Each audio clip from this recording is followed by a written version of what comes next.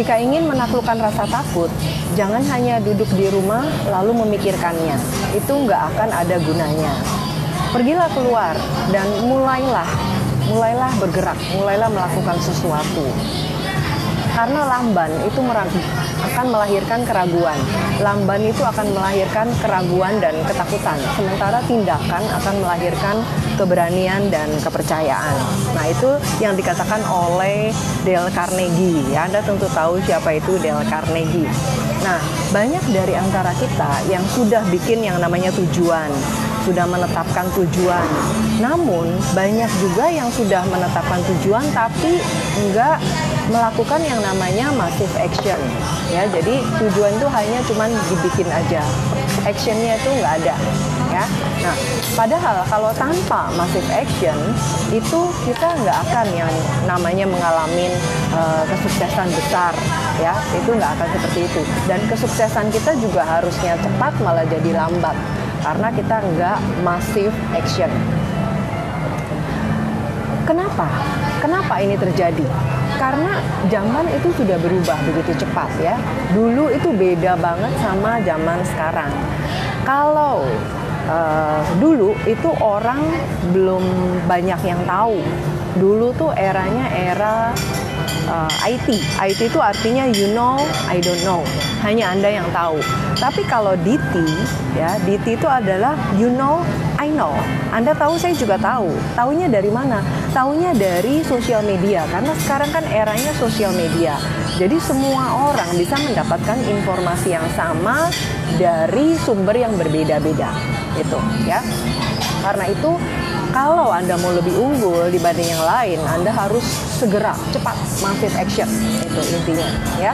Nah, paling gampang untuk menggambarkan sesuatu massive action itu kita analogi aja seperti pesawat ya sebuah pesawat yang ingin menuju ke satu lokasi, dia sudah tahu ke mana yang akan dia tuju, rute mana yang akan dia lewati. Kemudian eh, kecepatannya berapa, terus antipasi kalau terjadi sesuatu, bakal terjadi sesuatu bagaimana, misalnya perubahan cuaca ekstrim dan sebagainya. Nah, seperti halnya pesawat, begitu juga halnya dengan hidup kita hidup ini banyak tantangan, banyak rintangan ya. Gak mungkin yang namanya mulus-mulus aja. Setiap orang pasti ada fluktuatifnya di dalam hidup. Nah, misalnya kalau di pesawat itu terjadi turbulensi ya, turbulensi itu uh, badai ya. Kemudian ada lagi kumpulan awan yang datang tiba-tiba. Nah, kita juga harus siap untuk menghadapi hal itu banyak orang yang nggak siap untuk menghadapi yang namanya kegagalan sehingga begitu gagal sekali waduh udah langsung kepikiran dan langsung bingung ya. Karena bingung cara ngatasinya bagaimana shock belum pernah gagal sebelumnya ya.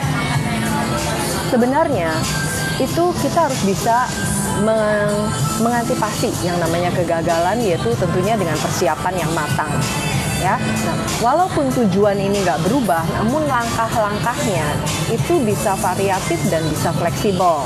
Ya.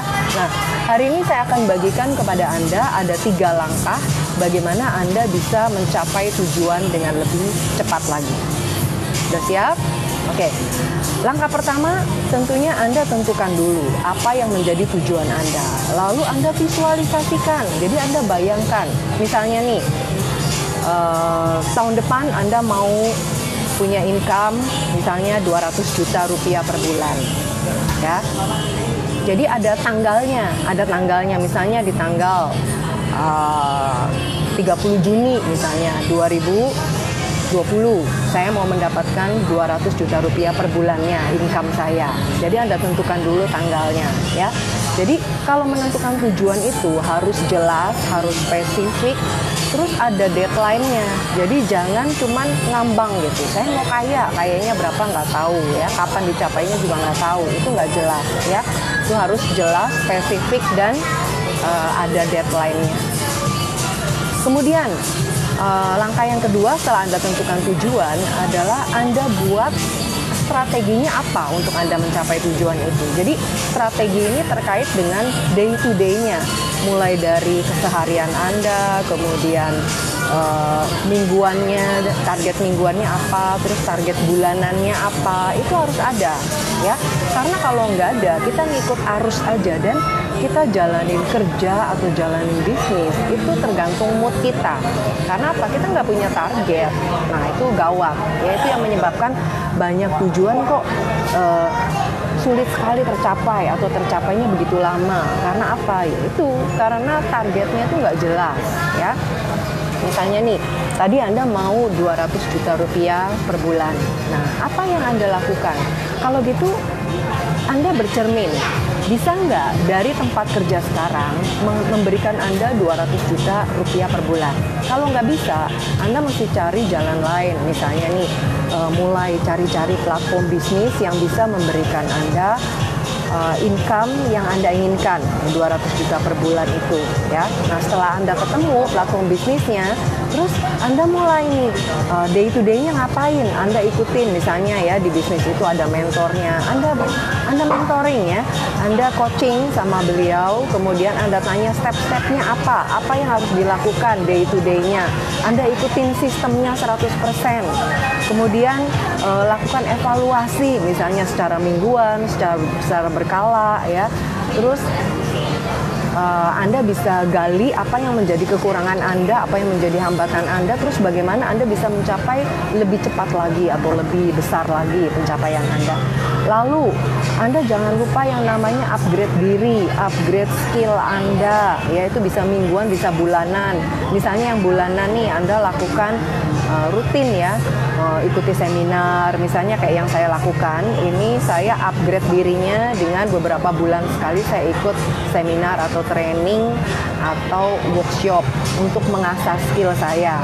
Jadi di era yang begitu cepat ini kita nggak bisa puas diri atau berhenti kepada satu skill aja itu kita akan ketinggalan nantinya ya karena zaman berubah begitu cepat Nah, jadi setelah Anda tadi step pertama tentukan tujuan, lalu Anda bayangkan, visualisasikan. Nah, ini juga penting.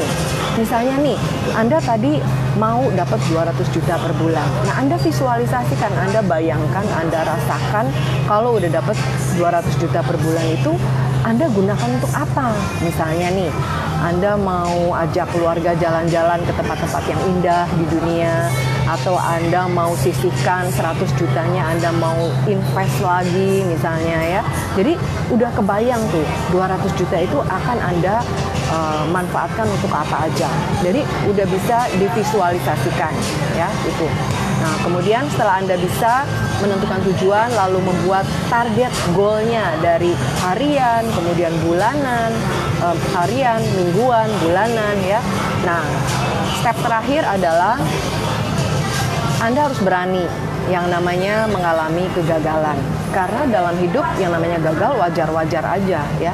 Nggak cuman Anda nggak nggak sendiri kok gitu ya. Jadi kegagalan itu hampir dialami oleh semua orang yang yang menjalani hidup ya. Justru karena kegagalan-kegagalan itu orang bisa naik ke jenjang-jenjang kesuksesan yang lebih tinggi karena apa pengalamannya nambah jam terbangnya nambah dia tahu mana yang cepat mana yang lambat mana yang benar mana yang salah ya. Jadi jangan takut sama kegagalan oke? Okay? yang nah terus kalau misalnya anda gagal anda nggak usah stres duluan ya. Anda nggak sendiri. Terus gimana cara mengatasinya? Anda bisa cari sekarang banyak sekali informasi yang kita bisa cari untuk mengatasi kegagalan Anda. Misalnya Anda bisa tanya ke mentor, konsultasi sama mentor, Anda bisa lihat artikel atau blog ya kisah-kisah orang sukses. Anda tiru strategi apa yang orang-orang sukses itu lakukan di industri Anda kalau Anda sudah belajar dari pengalaman mereka, sebenarnya Anda nggak perlu melakukan kesalahan lagi karena Anda udah tahu nih, oh jangan melakukan ini, nanti begini.